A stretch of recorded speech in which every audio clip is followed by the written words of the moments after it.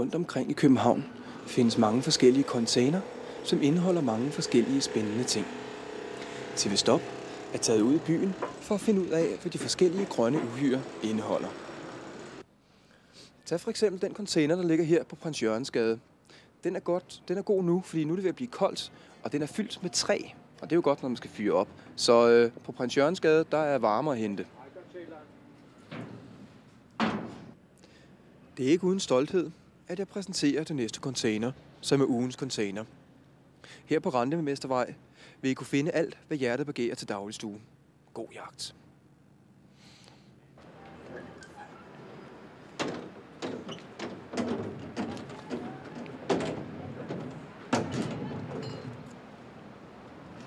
Godt nok skal man lede længe, men containerne på Israels plads skal også bruges.